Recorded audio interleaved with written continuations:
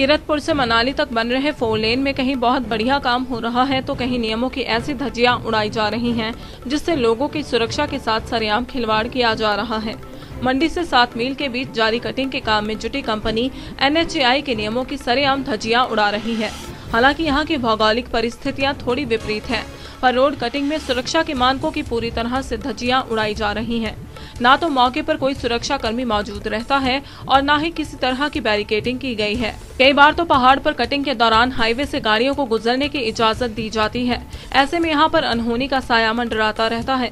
दिन में कटिंग के कारण एक से डेढ़ घंटे तक नेशनल हाईवे रोका जा रहा है, जिस कारण जाम से लोगों को परेशानियों का सामना करना पड़ता है। एनएचएआई के प्रोजेक्ट डायरेक्टर अमर रोहिला ने कहा की भौगोलिक परिस्थितियाँ विपरीत होने के कारण काम में काफ़ी ज़्यादा परेशानी आ रही है। बावजूद इसके कंपनी को निर्देश दिए गए हैं की वह लोगों की सुरक्षा और सुविधा को ध्यान में रखते हुए काम करे।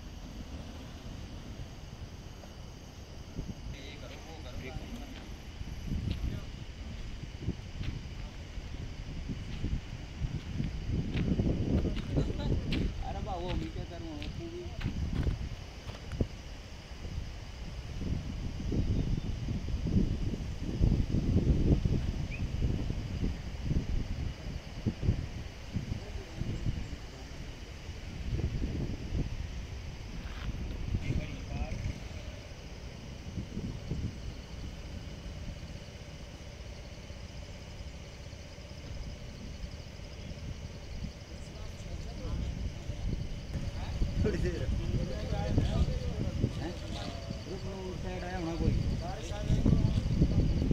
बड़ा ऑफिसर